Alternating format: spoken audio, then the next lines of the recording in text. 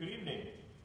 Welcome to Cuyamaca College Choir's mid-semester concert, Life and Death. Before we uh, begin this evening, uh, I'd like to remind you that um, you can always take your cell phones, and before you silence them, perhaps you can go on to your social media and check in to Cuyamaca College and just let everyone know that you're here. We want to make sure that everyone is able to enjoy this music, um, and as obviously you're in for a treat tonight, but we would love to have uh, many other people being able to come and join us. So take that opportunity now to just say, you know, I'm here at Cuyamaca College concerts, and then you can silence it from there. I'm Paul Thomas May, and I'm the director of choir here, and uh, I'll be your host for the evening, uh, providing you a little bit of context and share with you some of the poetry for the choral works that you'll see today, and also our large instrumental work that we have in the middle. Um, before I do any of that, I am going to welcome the Cuyamaca College Choir to the stage.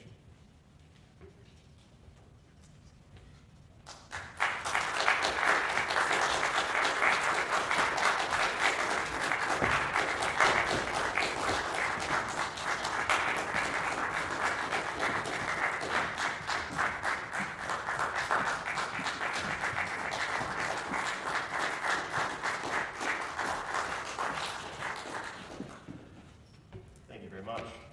In our culture today, everything is fast paced and can feel as though every moment is life or death. And our program today focuses around those two themes, highlighting certain aspects of each. The first two selections that you'll hear today are taken from Felix Mendelssohn's Song Cycle, Opus 48, The First Day of Spring. Mendelssohn wrote in the lush, romantic style that is reflected here in the poetry about the beauty of the nature and newness of life. The first in the cycle, Frühlingssonne, or Spring Clue, is as follows. O gentle, sweet breath, already you inspire me to songs of spring again. Soon the violets will start blooming as well. Here is Frühlingssonne by Felix Mendelssohn. Schon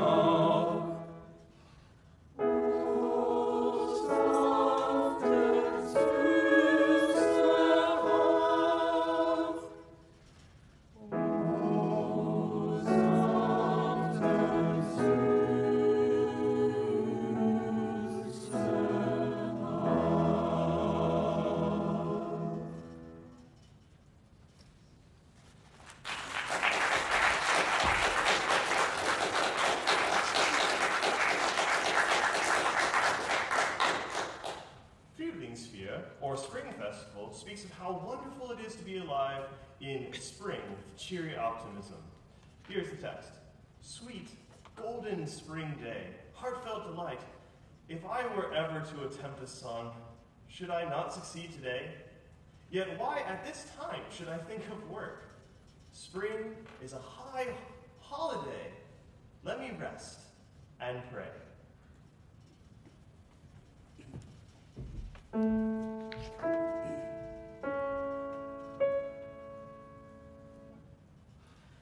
Charles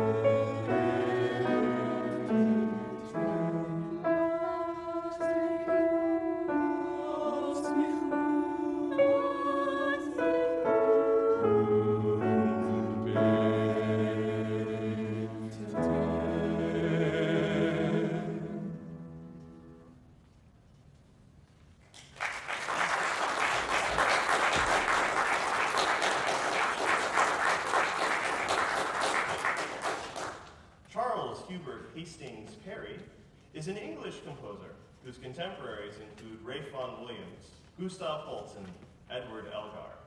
Together, these composers reclaimed the authentic British sound for the island, which already had a strong tradition of singing. In fact, one of the first pieces of choral music that we have in English today comes from the British Isles. Though Parry's life was short, and this year we commemorate his 100th year of passing, which is on the death side of the program, the rich harmonic style of his lives on. Love is a sickness is one of many of his secular part songs that use poetry from the Shakespearean era. Here now is Love is a Sickness.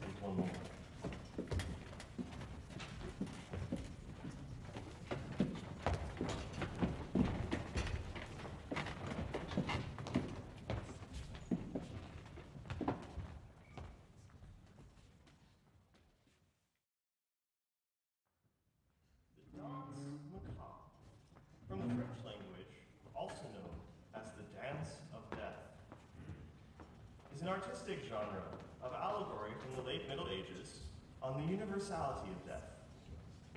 No matter one's stations in life, the danse macabre unites us all. The danse macabre consists of dead personifying death in some summoning of representatives from all walks of life to dance along to the grave, typically with people from all areas, say the Pope, an emperor, a king, a child, a laborer. Composer Camille Saint-Saëns was writing music at the height of the Romantic era in France. His take on the Dance of Death began as an art song, then later was turned into a larger symphonic work with the vocal line being replaced by a solo violin. Here today you will hear the virtuoso pianist and composer Franz Liszt's transcription of the tone poem for orchestra played on piano by our very own collaborative pianist, Rochelle Butler. Strap in, for this is a tour de force. Here now is the Danse Macabre.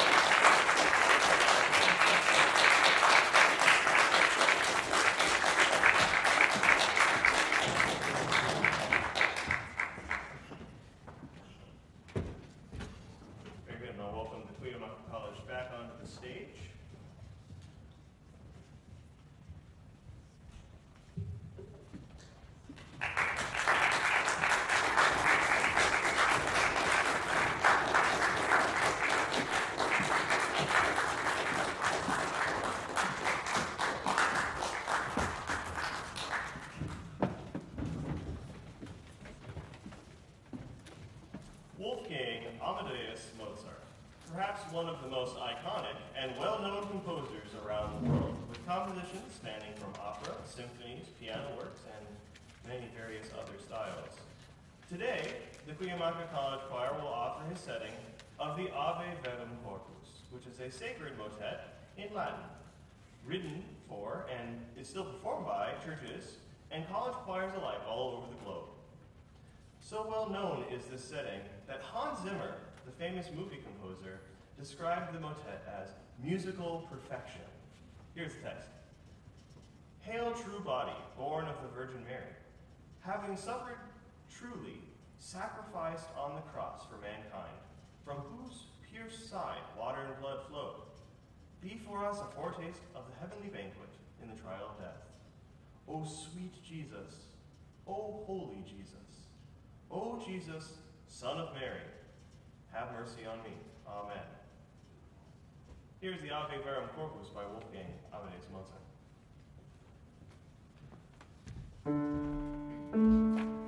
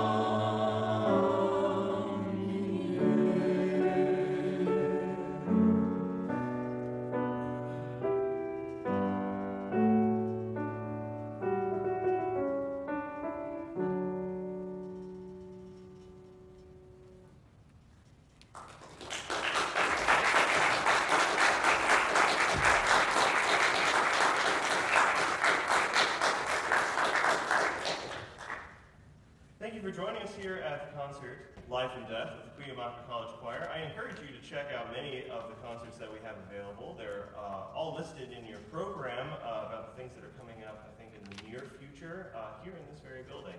There's a lot of great music that happens at Cuyamaca, and it doesn't get out to a lot of people, as you yourselves have already been witness to. Um, so I would encourage you, again, when you get to the end of this concert, perhaps consider going on Facebook and like The choir, Queen Cuyamaca College Choir, has its own Facebook page, and we invite you to do that. You can also like the Performing Arts uh, Department of Cuyamaca College. Uh, all of these are just ways that we can make sure that all of this music, this beautiful music that is available to the public and the people around us, that we can fill all the seats and that we, um, everyone can, can just enjoy that. Also, if you yourself might be interested in joining this fine group of people, uh, it's open to people of all ages and all sort of experiences. So uh, if you're interested in that sort of thing, through the, proper means, and that'll be fine. There are many ways to make music uh, available to this wider audience, so we thank you for all of that. Uh, ending on a lively note for the end of the program is Josquin des Prez, magical Italian in Italian of El Grillo, which is the cricket. This bouncy and vibrant song uses text painting, which uses the words literally, very literally, in order to describe the various things that are happening in them and weave them seamlessly together. For example, such as singing uh, "For a Long Time" is actually one of the things that we that we sing about, and then the choir holds their notes for a very long time. That's just one one example of many things that these composers of this time period in the, the medieval times just love doing. Um, here's the text. The cricket is a good singer. He can sing for very long. He sings all the time, but he isn't like the birds. If they've sung a little bit, they go somewhere else. The, quick, the cricket remains where he is. When the heat is very fierce, then he sings only for love. Here is Josquin setting of El Grillo.